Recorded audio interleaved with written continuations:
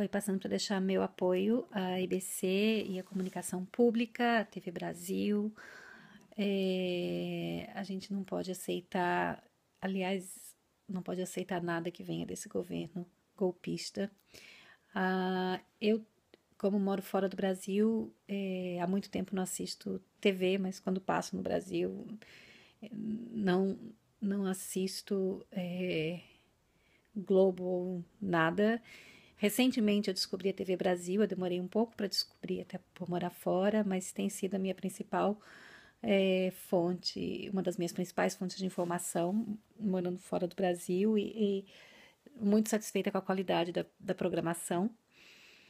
É, e lembra, é, é, assim, pensar que pode acontecer com a TV Brasil, ou com a IBC, o que aconteceu com a TV Cultura é algo muito preocupante é, a TV Cultura era, era uma referência para mim e simplesmente é impossível, é, enfim, do que ela se tornou.